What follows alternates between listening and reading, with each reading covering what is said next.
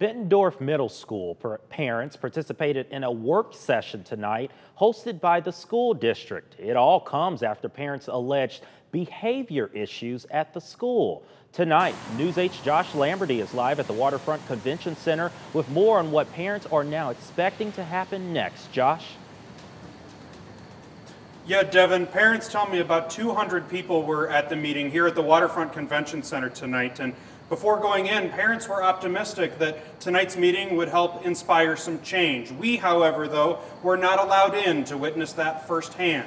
Now, parents tell me that tonight's meeting was focused on some roundtable, small group discussions, as well as some presentations from district administration.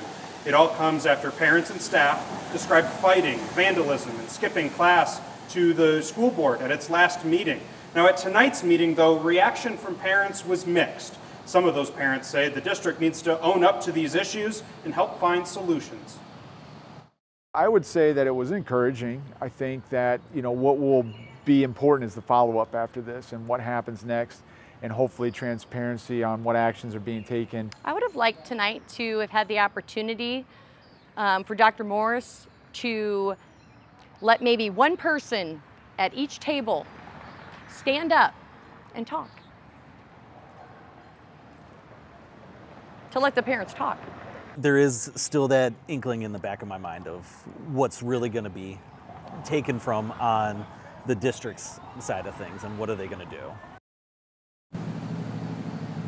Now, one other parent uh, wanted to stream, uh, record and stream, that is, tonight's meeting for parents who couldn't be here, like the uh, new students that will be coming into the middle school next year. District administration told him that he had to move his camera back to his car before coming back inside so that he could participate in tonight's meeting. Now, parents also tell me that the district will be taking whatever they've learned tonight and make changes to implement for next school year.